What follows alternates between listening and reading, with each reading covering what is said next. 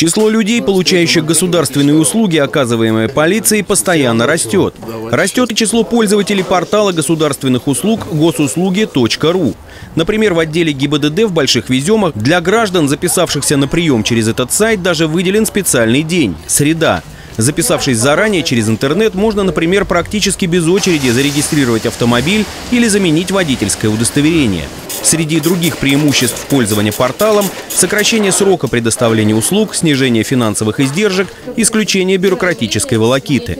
Например, справку об отсутствии судимости или прекращении уголовного преследования вполне реально получить уже через 7 дней, хотя стандартный срок ее подготовки – месяц с момента регистрации заявления. Этот документ необходим при устройстве на работу в организации, работающие с детьми и некоторые госструктуры, при получении виз для въезда в ряд стран или, например, разрешении на покупку гражданского оружия.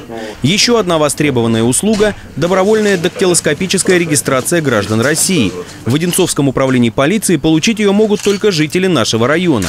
Процедура эта бесплатна и пройти ее максимально быстро можно также через портал госуслуги.ру. Данная услуга может э, понадобиться э, человеку в том случае, если работодатель э, который работает с какими-то материальными ценностями, направит своего сотрудника для проведения данной добровольной э, дактилоскопической регистрации. Не так давно в состав Министерства внутренних дел вернулись подразделения, занимающиеся паспортно-визовой и миграционной работой. Одновременно пополнился и перечень государственных услуг, оказываемых населению полицией. Сегодня именно полиция курирует регистрацию и снятие с учета граждан по месту жительства и месту пребывания, оформление российских и загранпаспортов.